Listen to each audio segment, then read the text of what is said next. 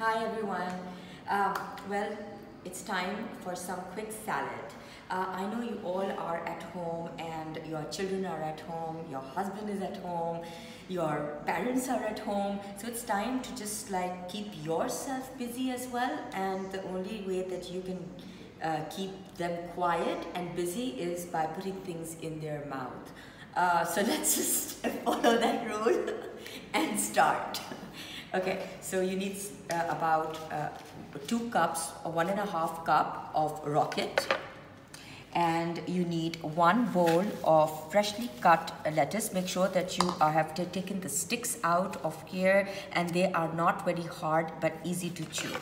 Okay, and then you just kind of mix it up, the rocket along with a little bit of lettuce. That's romaine lettuce. All right, oops. And we are going to go ahead and place this here. Okay, so I touched it. So I'm gonna go ahead and sanitize my hands as said these days.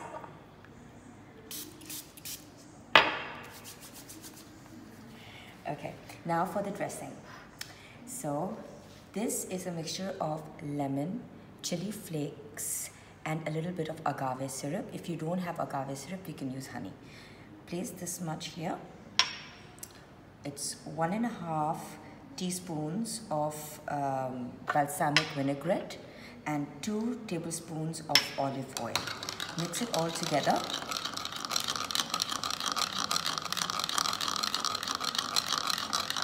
All right and this is to just top it with the dressing. And then you have about 15 to 20 strawberries chopped in half and cleaned up with the green stuff.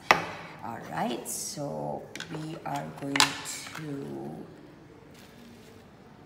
place the strawberries on the lettuce and add a little bit of dressing on it. And then you further top it with your favorite cheese. In my case it's ricotta. Go ahead add this up.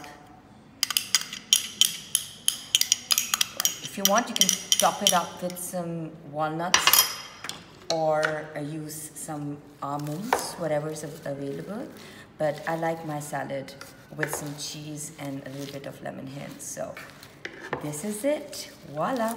Bon appetit.